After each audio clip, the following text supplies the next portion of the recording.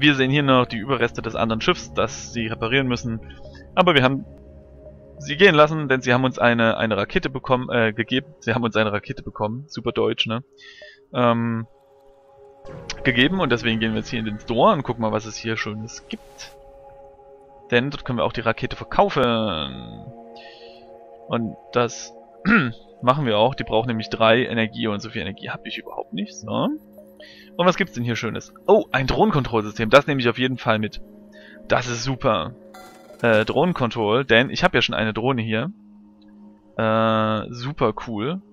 Und ich habe immer noch 52 übrig, das heißt, ich repariere mich hier mal und kaufe mir ganz viel Fuel. Und äh, warte jetzt mal kurz. Muss jetzt mal hier mein, mein, mein Management machen von meinen Dröhnchen. So. Repair-Drohne kommt dahin. Okay, äh, Anti-Ship-Drohne 1. Das heißt, ich brauche noch zwei Energiebalken und die kaufe ich mir jetzt hier einen. Kann ich noch irgendwas verkaufen? Uh, Pike Beam. Ach, ich fände es ja schon ganz nett. Obwohl, brauche ich den? Ja, ich hebe mal auf. Verkaufen kann ich ihn später immer noch. Ähm... Und ich habe schon zwei Energie. Wie kommt das? Achso, hier, genau. Hier muss noch eins hin. Ah, interessant. Wird jetzt irgendwie durch das... Ah nein, das sieht nur so aus, genau. Ähm, unter dem Zoltan grünen Schild liegt ja mein normales Schild und das wird ja immer heller, umso mehr Power ich reinhaue. Und ich dachte jetzt, weil das grün heller wird, dass mein Zoltan-Schild auch hell, äh, stärker wird, aber das stimmt nicht, das ist nur eine optische Täuschung. Hm, keine optische Täuschung ist, dass das hier ganz gut aussieht.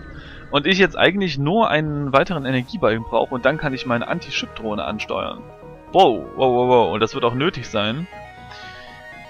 Denn dieses Schiff ähm, hat schon einen fetten Beam hier und sowas am Start. Deswegen werde ich das jetzt so machen. Ich nehme jetzt den Hull-Laser und schieße auf ihr Schild. Den Halbert Beam nehme ich hier lang, um ihr Sauerstoffsystem und ihr, äh, ihr Waffensystem anzugreifen. Die Rakete nehme ich, ich habe 25, das, das reicht also erstmal noch. Nehme ich mal auf ihr Waffensystem, das muss schnell weg. Und dann nehme ich von meinem Schild einen Balken runter und mache meine Chip-Drohne an, Anti-Chip-Drohne an, genau. Weil diese drei Balken, die machen mich ein bisschen, ja, die schießt auch dauernd daneben, die, die doofe Drohne. äh, nochmal, hallo, was ist denn hier los? Na, endlich. So, ah ne, ihr, ihr Beam ist immer noch da, das ist nämlich ein echt fetter Beam. So. Und ich hoffe, dass meine Rakete äh, so. Nein, nein, die Rakete nicht mehr und den Hull-Laser, der kommt weiter aufs Schild, genau. Ich muss mich hier ein bisschen orientieren. Ich habe jetzt mittlerweile ziemlich viele Waffen, die ich hier ansteuern muss. Bam, bam, bam. Sehr gut. Mach mal schön das Schild weg. Sie äh, bieten uns das an, aber das nehmen wir nicht an. Und da sind sie gegangen. Okay, das war einfacher als ich dachte. Also einfacher, wir haben zwei Raketen investiert und einen Drohnenpart und so. Das ist natürlich nicht ganz so optimal. Ah, okay, jetzt kann ich einen Energiebalken kaufen und damit mein Schild hoch und die Drohnen auch noch verfahren. Sehr gut. Das läuft doch ganz gut. Oh, hier ist nur ein Store, da müssen wir jetzt leider durch. Äh, ich hätte ja gerne mehr, obwohl ich könnte den Pike Beam vielleicht verkaufen. Hm. Ja, ich weiß noch nicht genau, weil ich überlege, ob, ähm, wenn ich nämlich mal Raketenwerfer runterfahre später, dann kann ich den Pike Beam ja noch, könnte ich den ja noch anfeuern. Wenn ich mal, cool. Und dann geht's hier hoch und hoffentlich ist es kein Plasmasturm. Kein Plasmasturm. Sehr gut. Und es gibt nur so Hull-Laser auf die Schilde, Halbert Beam auf alles. So. Und Rakete brauchen wir denke ich nicht und ich denke auch nicht, dass wir eine eine Drohne brauchen, denn das Schiff hat ja nur zwei Energiebalken. ja, schön. Also läuft doch bisher ganz gut. Wenn es so gut läuft, dann habe ich immer so ein bisschen die Vermutung, dass es daran liegt, dass ich aus Versehen auf äh, leicht gestellt habe im Schwierigkeitsgrad, aber ich hoffe nicht, dass es der Fall ist. Ähm und ich überlege jetzt, in, in einem Fall wie diesem jetzt eben, wenn ich jetzt den, den, den noch einen Energiebalken mehr hätte im Waffensystem, dann könnte ich nämlich den Pike Beam noch einsetzen und dann könnte ich die richtig schnell auseinandernehmen. Muss ich mal gucken, wie viel Aufladezeit der Pike Beam eigentlich hat. Das würde auch gut funktionieren, genau. Da wäre er eine Sekunde später fertig als mein ähm, eine Sekunde später fertig als mein, mein Laser. Und das würde dann für einiges an Chaos sorgen am anderen Schiff, denke ich. Denke ich, hoffe ich zumindest. So, ähm, den nehmen wir noch mit. Ich hoffe, das ist kein Plasmasturm. Oder kann ich... Nee, kann ich nicht. Genau, also nehmen wir den mit. Hoffentlich kein Plasmasturm. Sehr gut, kein Plasmasturm. Gott sei Dank. Aber hier ist auch dafür gar nichts. Und dann würde ich sagen... Nee. Können jetzt auch nichts mehr machen. Geht's zum Exit. Und dann weiter. Oh Mann, wir haben für diesen Sektor nur 5 Minuten bisher gebraucht. Das ging also ratzfatz. Das ist natürlich vorteilhaft, dass wir jetzt schon im nächsten Sektor sind, aber ein bisschen blöd, dass wir Zoltan oder Rebellen, ich nehme mal Rebellen, Zoltan, Schiff haben wir ja nur schon. Ähm, das ist natürlich ein bisschen blöd, weil wir haben wenig äh, bekommen, meine ich. Ja, weil man so schnell einen Sektor durchquert. Obwohl, naja, hat vielleicht nicht unbedingt so viel mit der Zeit zu tun. Hoffentlich.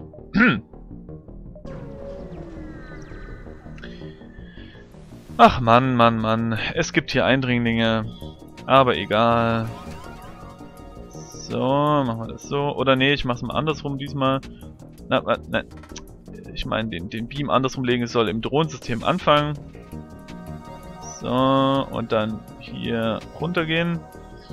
Und die Eindringlinge, da würde ich sagen, kümmern sich hier Ariel und Charlie drum. Und die Drohne ist ein bisschen doof, aber sollte eigentlich zu lösen sein. So, ich mache mal die Tür auf, falls die irgendwie reinkommen wollen. Ne, wollen sie nicht. Die wollen nur mein Türsystem kaputt machen.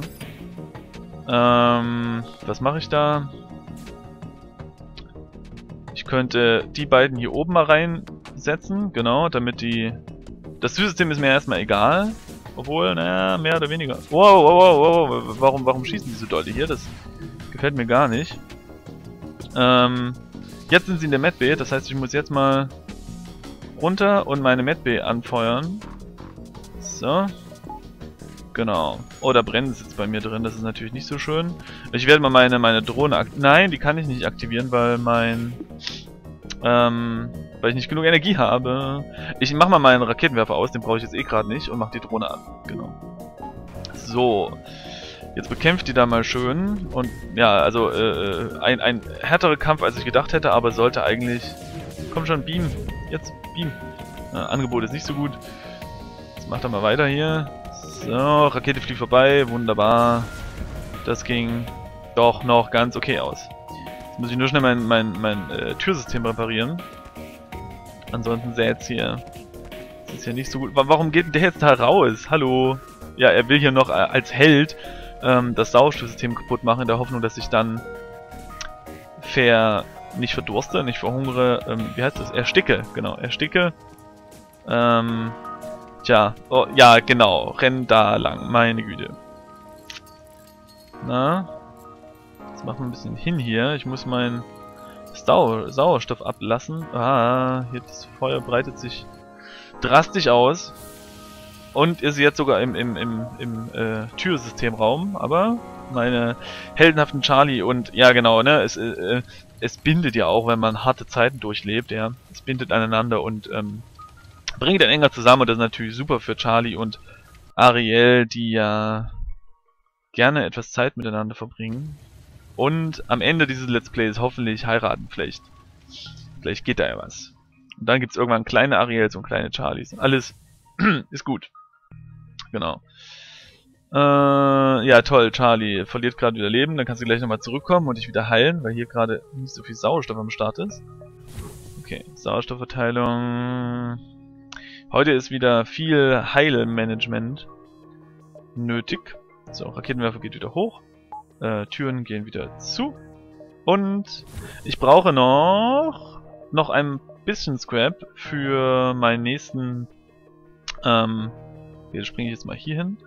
Für meinen nächsten Punkt an, äh, an, an, an Waffenenergie, wo ich dann meinen nächsten Beam einsetzen könnte. Uiuiui. Und hier geht wieder was ab.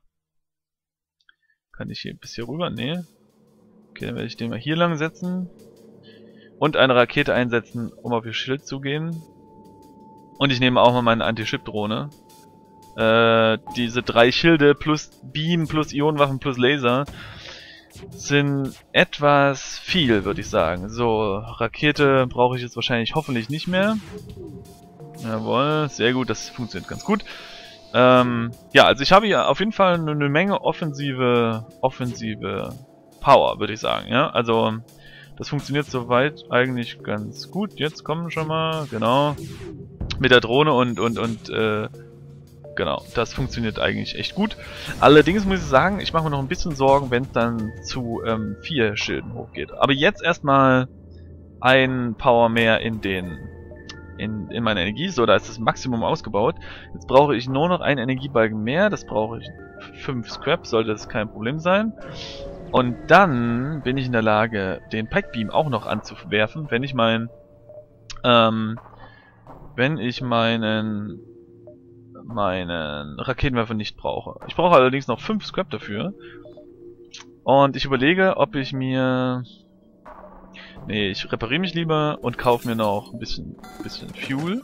Es ist nämlich so, dass ich 25 Scrap zu bekommen, ist es nicht so schwer in dieser Phase des Spiels.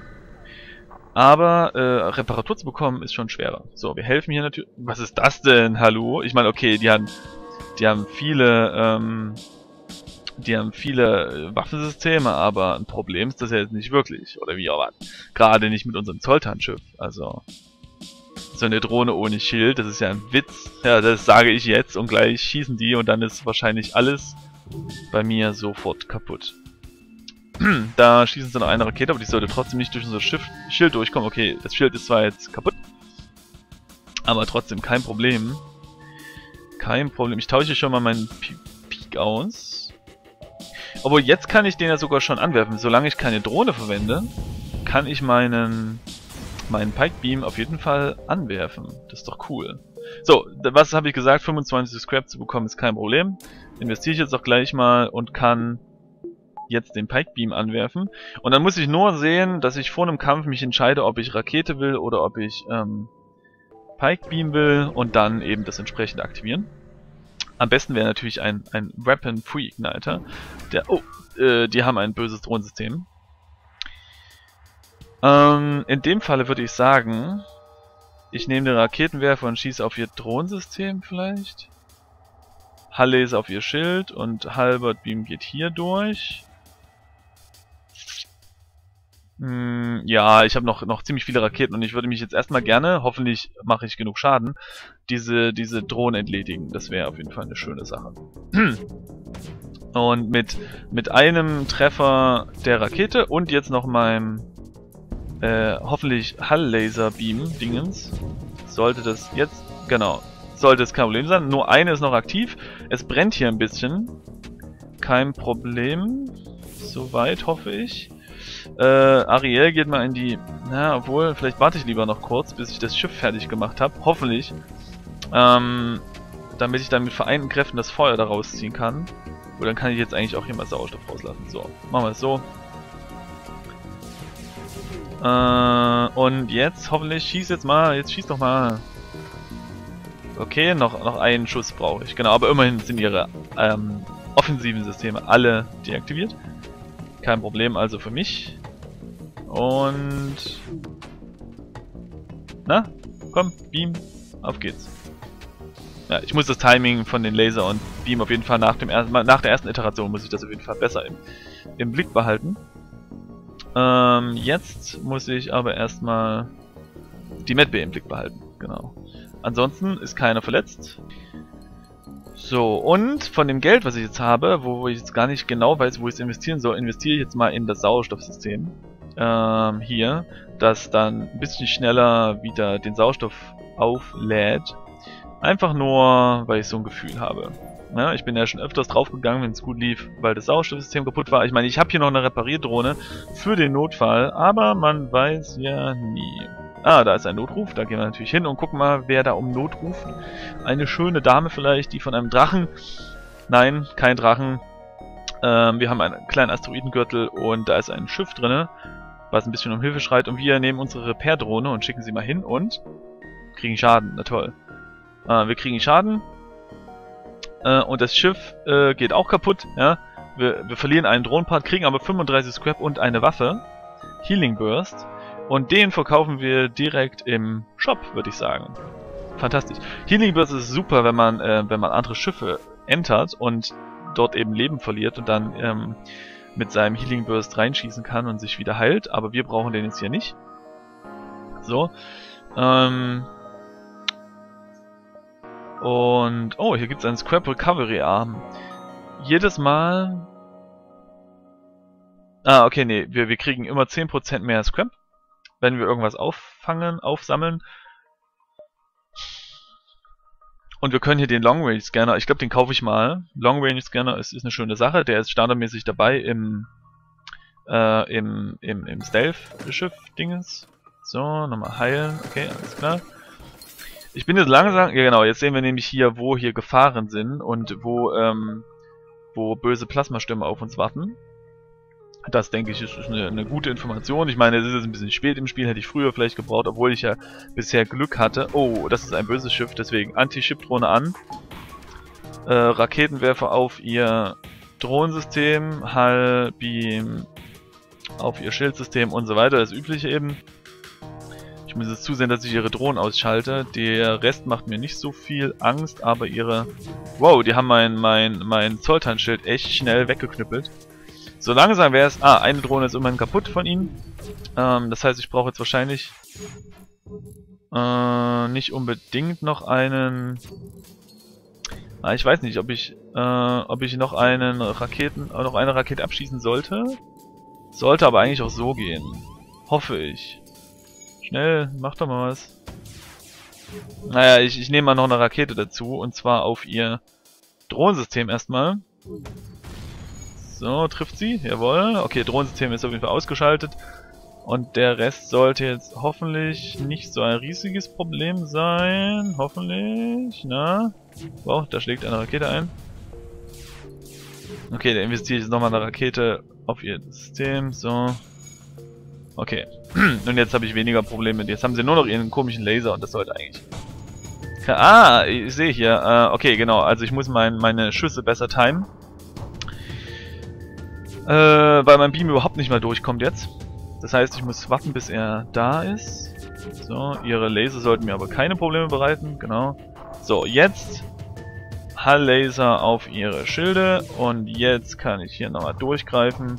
So, das sieht schon besser aus. Nochmal. So, jetzt muss man wirklich aufpassen. Also das Autofire funktioniert am Anfang super, aber danach äh, nicht mehr so gut. Das war auf jeden Fall ein härterer Kampf, als ich ihn mir erwünscht hätte. Oh, jetzt kommt eine Rakete und... Ah, okay, Engines, das ist erstmal kein Problem.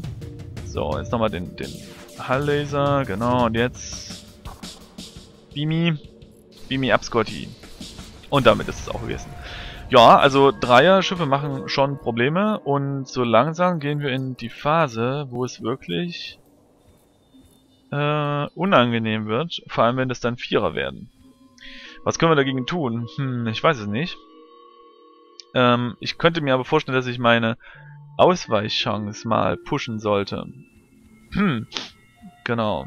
Also ich brauche mehr Ausweichchance und das kann ich natürlich erreichen, indem ich meinen äh, Generator ausbaue. Ja. Genau. Naja. Hm, mal gucken. Charlie. Muss auch mal kurz geheilt werden. Java geht wieder in die Schilde gleich, wenn Charlie geheilt ist. Tschüss Ariel, ich muss wieder zur Arbeit. Und ich muss hier wieder meine Waffen verteilen. Äh, genau. So. Macht das mal klar. Ist hier alles verteilt? Achso, hier sollte ich natürlich in mein Sauerstoffsystem auch mal einen weiteren Balken investieren. So, dann muss ich jetzt hier noch einen dazu kaufen. Okay, so. Ähm, wie es weitergeht mit unserem Schiff, sehen wir in der nächsten Episode. Bis gleich.